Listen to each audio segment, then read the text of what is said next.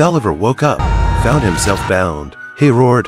He tried to sit up with all his might. Gulliver was escorted to the palace. He stood like a giant in front of the palace. Gulliver was forced to pull the plow. He walked forward with difficulty, showing a painful expression. The enemy bound the princess. Suddenly, Gulliver's giant head appeared before everyone. He used his fingers to grip the enemy soldiers and threw them into the pool. The princess walked into Gulliver's palm. Gulliver moved his footsteps. He moved the princess to a safe place. He crouched down. The princess returned to the ground.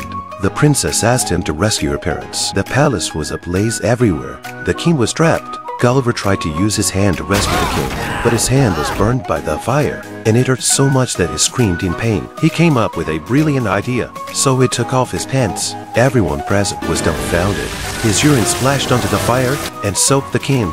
The king was saved. Gulliver took off his shirt.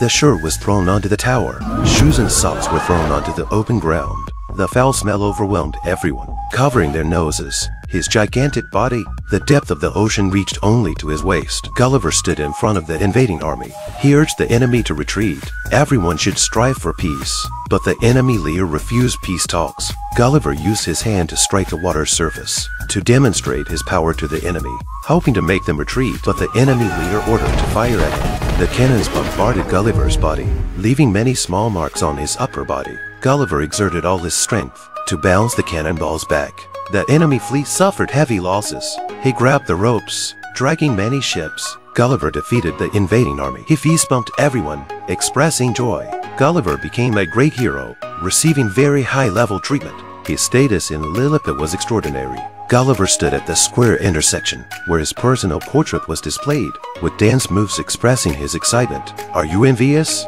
A group of Lilliputians stepping on his back, giving him a relaxing massage. He thoroughly enjoyed this treatment. Three Lilliputians holding scissors were giving him a haircut. The chief guard came to the enemy king, kneeling to express allegiance. The chief guard handed over the country's intelligence to the enemy king, asking the enemy king to capture the princess. He wanted to marry the princess. He also wanted to personally kill Gulliver.